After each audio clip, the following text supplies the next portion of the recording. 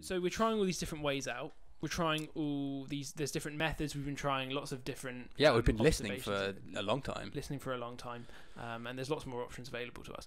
But if if we take that Drake equation, it's it's possible if there's if the, most of the estimates are not that there's one civilization in the galaxy. No, and it's actually Um, worth saying that like the vast majority of them put even like lower estimates being like tens to hundreds Yes. in our galaxy, Yes. and then way up. I mean, they Yeah. go up to like hundreds of millions. So, so the, the question then is, if you've got all these these civilizations that are have are, potentially are much older than us, so say they became civilized around the time of even like just the dinosaurs, like 65 million years ago, they're going to be huge. If they're still around, you would expect them to have spread a long way across the galaxy by Yeah. now. Like we're talking about all these different type civilizations. Um, you'd expect a, an, of an old civilization that's millions of years old to have to have conquered a good part of the galaxy, or at least you would expect there to be some uh, electromagnetic signals Mm. or uh, radio signals, or any, eh, well, yeah, uh, that are coming to Earth, or that the, the galaxy sort of awash with them. Yeah, But we don't hear nothing. we never heard nothing. Never heard nothing. Not a, not a peep. And so this so is what's going on with that? yeah. So people, this is what people call the Fermi paradox. Yeah, because that that was Enrico Fermi just said that one day. I think it's like it's like a conference or something. He's like, "Where is everybody?" And Yeah. like that's why it's known as the Fermi paradox because he sort of framed it like that. Yeah. Um, But it's a good question. If you really think Yeah. about it, there are thousands of civilizations, probably, like based on the, the average Drake equation estimates. yeah, They we should have heard something from them by Yeah. now. The, the, the galaxy should be you sh- you would expect the galaxy to be awash with signals from yeah. them. Especially as everything we've learned about like our place in like the universe and stuff has taught us that there's nothing unique about the Earth in the sense that like the same chemistry applies, like the same laws of physics are everywhere, whatever, whatever. And the, So- like these exoplanet things with Kepler, it's just like, oh yeah, by the way, twenty percent of all stars have a planet in the Yeah, habitable. by it's the like way. It's like oh, like why did we ever think that wasn't the case? Yeah, and like water is absolutely everywhere, and like organic chemistry, which life is based on, is absolutely everywhere. yeah, yeah. Comets it's- are just full of amino acids. Like Yeah. you know, it's it's it's in the interstellar dust and like whatever. It's, Yeah. it's fucking everywhere. So like, sick of it. so so so that gives you a good reason to say like, okay, you know, there's, there, we can't assume that this is like a unique place. Like, there's no, there's nothing that really points in that direction. So we might, we must assume that there's other civilizations. So where are they? Like, why, like, why have we not heard anything from them? Um, and there's like, no, I mean, there's you can think up a million answers for it. Probably one of the most obvious like ones to just go in with straight away is that we just haven't been looking hard enough or in the right places. Yeah, um, which is possibly true. yeah. And I just would just say this is important to understand in answering the question of like what is Yeah. the chances of us detecting a civilization? Yeah, because the in a sense the answer to what are the chances of us detecting a civilization is that it should be extremely high yeah, we should have detected them Yeah. but the fact that we don't suggests that there's something we don't understand yet so you've got to kind of speculate about what it is that we're missing here um, Mm. in order to in order to answer that question a bit more um, so yeah you were saying So yeah, so the, so- the most obvious way, which actually sort of sidesteps the problem somewhat, is that this russian mug is cool yeah, it's nice, isn't it? it's very nice. Fits a beer can like perfectly. Mm.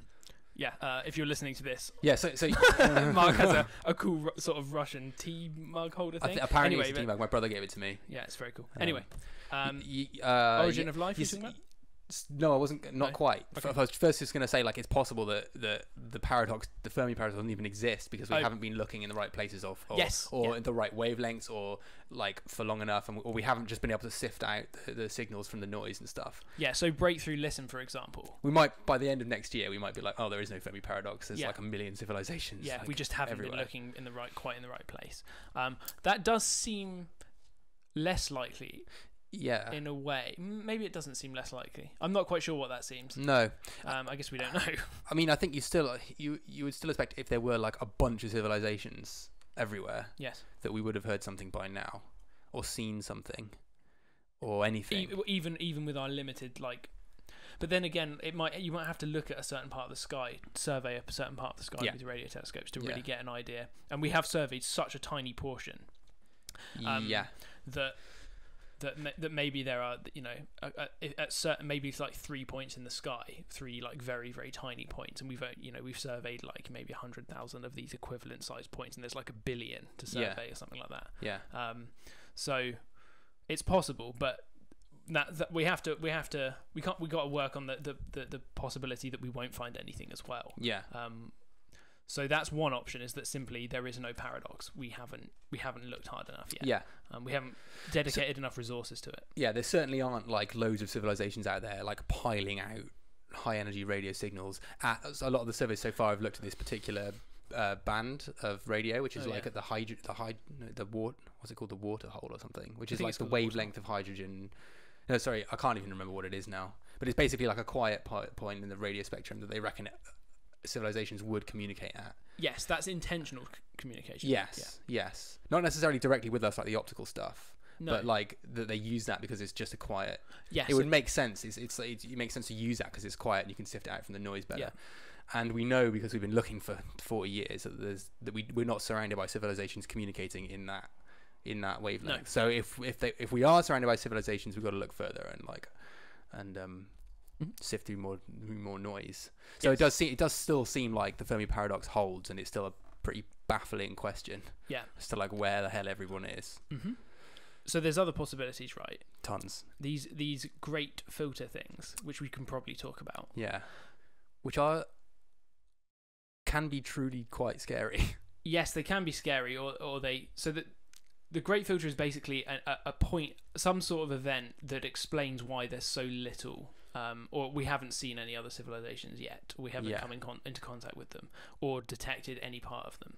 Um, and some of these predate where we are now in our development, and some of them postdate where we Yeah. are now, um, or would happen in the future to us. So the first one is like the formation of a, a planet, a habitable planet, right?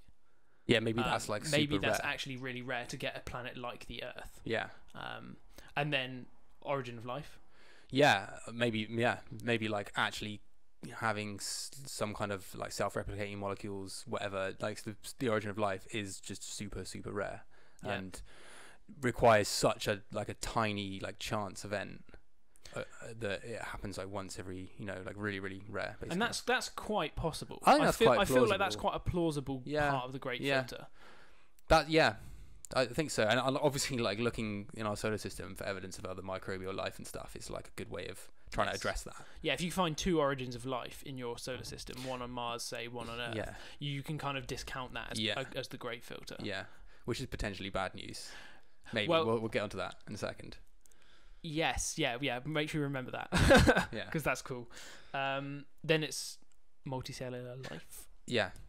I was just gonna say though, Yeah. your first point about habitable planets being difficult, Mm. maybe that's a great filter, but we can sort of discount that maybe because Mars was Maybe. was probably habitable. Yes, it was habitable. Yeah. um, so it but it might like not be like that you have this like lo- like the Earth type. yeah, okay, sure, So sure, sure, long-term, long term, tectonically yeah, driven. sustained habitability. Although tectonics may be related to life anyway. and sustained habitability might be related to life. Yeah, yeah, Yeah. yeah. The Gaia stuff. Yeah.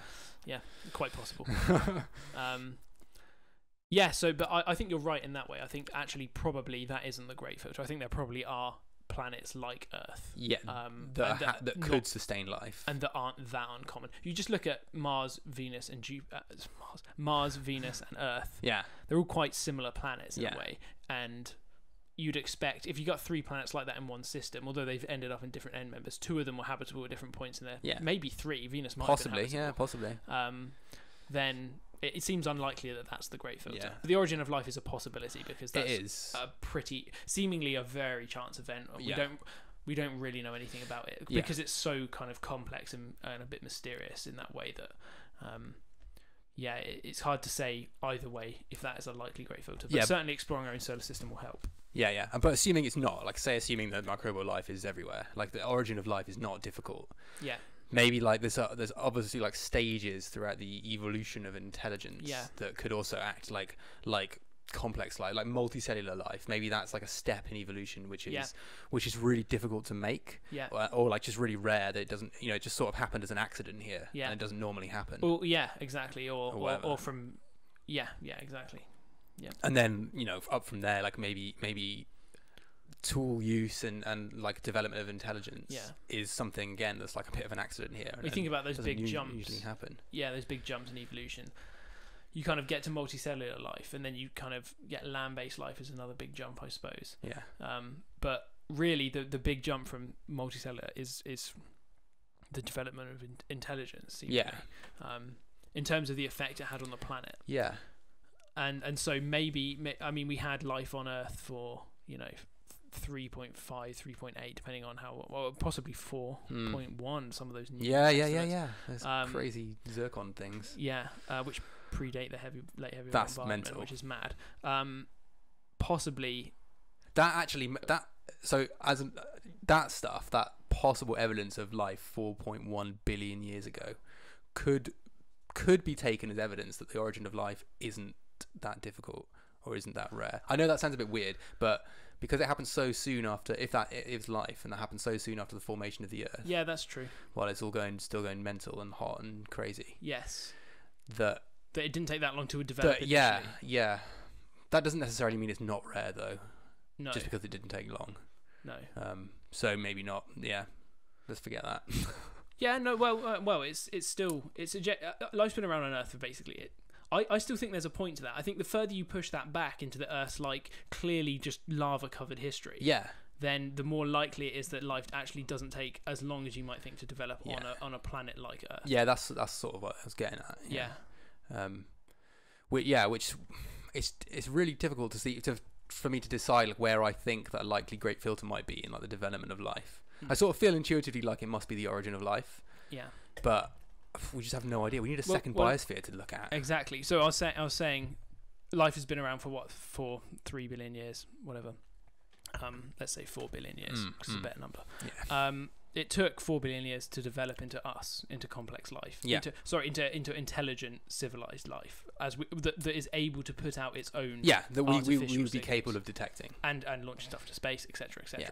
So four that's four billion years, okay, of evolution of life on a on a stable planet is Yeah. required to get to that point, and it may that that of course that may chance ha- that chance may happen earlier or later, uh, depending on what it is. But four billion years is is like I don't know, like a third of the age of the universe. Yeah, I find that really odd. Like I- when I think about that, yeah. like the universe is like three point thirteen point thirteen point six or something, point six. Yeah, roughly. Call it fourteen, like whatever, round it up. yeah, yeah, yeah. It's still, it's still, even if you do that, it's like it's, it's the universe is really, really young. Yeah. Like the, the kind Well, of yeah. it is. It's like if it's, so compared to Earth, it is compared the history compared of to Earth. yeah compared to the history of the, and also compared to like extrapolated the lifetime of the universe. Hmm. Like the heat death, which seems to be like the most likely sort of extrapolation of the acceleration of the expansion of the universe, all that stuff, is going to be in like a hundred trillion years or something like yes, this, right? Yeah. So that's a hundred, like a hundred trillion years, and we're the, the tiny like sliver at the beginning of that now. Yeah. So like it- that seems really odd that we we are around. Like, why aren't we just like surely surely by chance like a, if you just to like by chance emerge at some point during the history of the universe, you would expect it to be like somewhere in the middle, rather Yeah. than right at the very beginning. Well, I guess this is the thing that the the reason the Fermi paradox exists may be just because, uh, and for these reasons that we're quite we just haven't had that enough time yet for us to be common, and we're one of these like pioneering civilizations. yeah, like one of the first, which is which is a cool thing, but it's also a bit depressing. it's kind of I find it kind of terrifying in a weird way. Just like not terrifying in like a I'm scared of it, but It's like kind of vertigo inducing. yeah, like a We're on our own shit. yeah. Um, No one's ever done this before. and we won't we will maybe never like if that is the case we maybe we'll never detect anything else and Mm. we never will quite know that that's the case or maybe we'll be like we'll be like lords of the universe. So we're like we're like Yeah. we're like the first out the gate right? We come Mm. super super advanced and like go and seed other planets with life and come back and they all think we're gods and like all that mad shit. Like the other way round to what happened just in build Prometheus. loads of fucking badass like structures everywhere and like yeah. stuff that people have no idea what it just is and build stuff to freak them out like pyramids and like i don't know the ice caps. I'm thinking of stuff like like i don't know like the mass relay stuff in in mass effect or like i don't know just like cool stuff that's littered Yeah. around the galaxies just like people stumble across like oh this is built by an ancient civilization Yeah. that was us that was us that was us we're just bossing it somewhere else yeah outside space and time yeah fuck yeah I, I quite like that idea of us Yeah. being a pioneering civilization I do like that as well. I just wish I was going to be around to sort of see all that happen. Yeah, yeah. I've, I, I, it does depress me the thought of not coming into contact with an alien civilization because that's like the biggest thing that could ever happen in, yeah, to anyone. Yeah.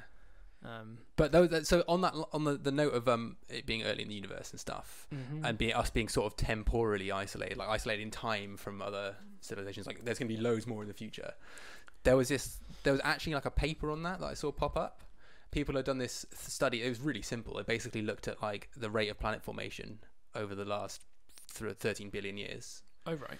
and and showing that we are basically in the very very early stages of planet formation of the universe. So if you look at the entire Oh, lifetime of the universe, Yeah. like only like 0.00001% of all planets that will ever form have formed at this point. So there's going to be like a peak Yeah. in like maybe 100 billion years where there's going to be the most planets being formed and therefore presumably and the therefore most presumably the most life and the most civilizations and stuff. So yeah, so that's actually putting some numbers to what we were just talking about. Um, that paper. So that was that's I, I read that. I was like, that's kind of convincing. Like I, I I could yeah I could buy that. yeah, I could buy that hook line because it's so early. Like what the hell is that about? It's in the universe's lifetime. Like we're right at the very beginning of it, yes which is odd. four billion years it took to get to us from life evolving and it's a third of the age of the universe Yeah, nearly or whatever roughly. yeah, That's mad. So the there are more dire scenarios though than these. These are kind of these Yeah. are, in a way these are the optimistic scenarios. yeah. These are yeah, yeah, yeah. The Um, sort of benign though- ones. Well, even though they're sort of depressing that we may never come across a civilization this way, it's more depressing to think that the Great Filter is after us Yes, in our future. in our future. After us, yeah, in our future. So that this means basically that there are that civilizations do develop to our point or somewhere near our point, but then something happens, something that's very effective at removing them, yes, so that we don't, so that they don't broadcast long enough or even at all. So that could be like a natural disaster, yeah, um, whatever. It could be like a, a self-induced disaster, like So nuclear war or something, nuclear war. or something like um, that. Yeah, like you said, climate change just screwing up your planet. You Yeah, always basically just screw it up, erect. You know, you just destroy it yeah, without being able to, to uh, reverse that Mm. effect. Um, I feel like those those aren't my favoured great for post great. There's the, the big one is is maybe AI, mm. Um, and another one is another one. Before we talk about a bit more about AI a little bit, potentially potentially civilizations just get don't st- just stop exploring as well. They they get to a point where they're so comfortable and so used to whatever they just become like a brain in a jar basically, and the brain in the jar is just like loving life, whatever. It's just not. yeah. They just It's learn how having to. a, it's having a simulated existence Yeah. essentially. yeah. So it never has to. It never. It never thinks about exploring the universe because essentially in its simulated life it is doing that. yeah. So so Yeah. So maybe because we only really explore the universe because it gives us pleasure to do that. You know, like we're just animals at the end of the day, yeah and like we're curious animals. yeah and it, So if we can satisfy that by being a brain in a jar, yeah it's not well it's not yeah it's, it's crucial to your survival to like a species survival like it's an innate thing. yeah, You no, it's have it- that, would yeah, you? no, it's evolved for a reason Yeah. for sure. Yeah. Um, but ultimately, like once you've taken care of like All things that are going to kill you, that Yes. that that curious curiosity or whatever is there, and it gives us it, it makes us feel good. I, don't- I, mean, I don't know, like it kind of. It's what we do. It does make us feel good. Yeah. we've evolved to do it, but it's what we do. And like if you can fulfill that that kind of need just by being a brain in a jar, like it's simulating a reality. Then you would Then- lose your. But you wouldn't care about trying to explore, and you just sort Yeah. of stay wherever you were. So you get all kind of insular and like a, just Yeah. like remove yourself really from Yeah. from from the real universe, Yeah. which is possible. Yeah, that's possible. Is it is it to be a great filter though? It has to be sort of so efficient at removing civilizations. So because we're we're talking about we haven't seen anybody, So- we haven't seen we haven't seen shit. so to, to be to be a great filter, it has to be like Yeah. kind of like a blanket like okay we are like the only ones that have got through it or or that's what's inevitably Yeah. like absolutely inevitably going to happen to us So maybe soon so something that we could fill that gap is, is AI then, yeah possibly which is th- which is inevitably civilizations like ours develop some form of artificial intelligence that becomes exponentially more intelligent and and takes over the civilization, either destroying it or or d- d- t- whatever, turning it to its own needs or. I mean, suppose that this is like an unfriendly AI situation, yeah which is we will talk about ai in another video Yeah. definitely but, but, that would be an event. If if life, if organic life always needs to build com- computers and things in order to solve problems and and make their lives better, because biology doesn't through through Darwinian selection can't produce something like a computer. Um, or not like a computer that's powerful enough to do what we want it to do yes, yeah, exactly. i mean we're our brains are No, but it can't produce like a cl- a compute like a classical computer or Right. whatever. Like a you know something that's that's that can do specific processes very very efficiently. Yeah. Like all the calculations computers can do that we can't basically. yeah, Um, and then uses that to turn it into systems. I I, I feel like this is like a a, a- a route that civilizations could realistically always take, Yeah, I I, I could Um, I could believe that. and that. It's it's an inevitable conflict that happens in the universe. The kind of the inevitable conflict between synthetic and bio- biological life. Yes, yes, because it's probably a hell of a lot easier to create an AI accidentally that then kills you, rather than Yes. one that like well kills you or just does some that just has totally indifferent to you and just is serving its own needs, Yes. rather than something that's kind of benign and happy and fun and helps you out. However, the problem with all this though is that where are all the AIs? Yes, that's a question. So Um, say the AI, say civilizations are killed by their AIs. Yeah. Like where are they?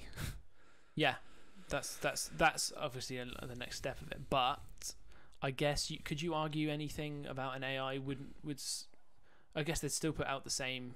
Um, I mean, maybe an AI, maybe an AI would be deliberately like hiding itself or something. I I I don't know, or just have no need to like be broadcasting stuff for whatever reason. but you'd expect like leakage essentially. yeah, you would, you would, Yeah. So where are the AIs? and you'd imagine these things are just like if they're exponentially increasing in intelligence and exponentially increasing in like their need for resources and and Mm. use of that they'd actually become these like Kardashev type two. You know, they'd be like doing whatever, like moving stars about, or you know, doing dismantling stuff and you know whatever.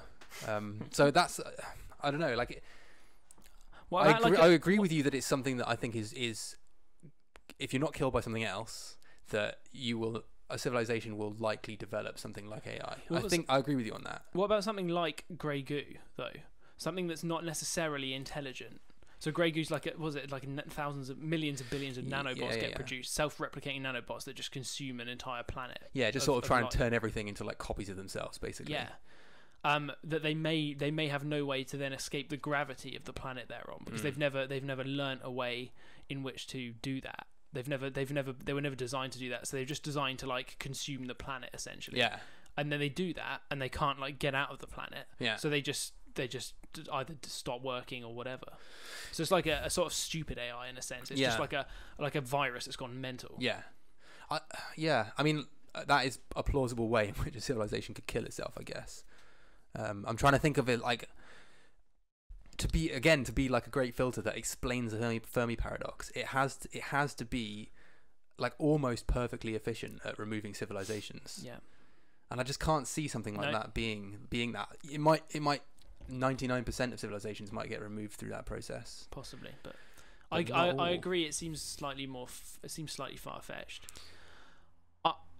This is this is why I still favour the, the Yeah, exactly. That's the- what I'm kind of coming back to, I guess. uh, that actually it's uh, the great filter is is we've already gone through it. which would be good news. But that's why. So that's why earlier Yeah. when I said um, discovery of life on Mars would be bad news for us Yeah, because basically it makes. Yeah, someone said that. I can't remember who it was. Was it Nick Bostrom or someone like that? It might well have been. Yeah. Um, yeah, Um, I think it was actually. He's a guy. He's at Oxford. Who's like really into like existential risk and what's going to happen to us in the future and all this great filter stuff. Yeah. Um, but yeah, because if you discovered microbial life on Mars or historic microbial like fossils or whatever, it would suggest that the great filter is not in our past or or is or is one of the biggest, one of the biggest- potential great filters. the origin of life is actually not so much of a filter because if it's happened twice in our solar system, it's going to happen everywhere. Yeah, he, he he's phrased it as something like that. I don't know if it was Nick Bostrom, whoever it was. It would be the worst Yeah. front page of a newspaper that has ever been printed Yeah. because it would literally, literally be the worst news ever. It's basically us reading it and saying, "Shit, the Great was in front of us." We're almost certainly fucked. yeah. Like, like because because well, no, well, is it? Is it? Hold on a minute.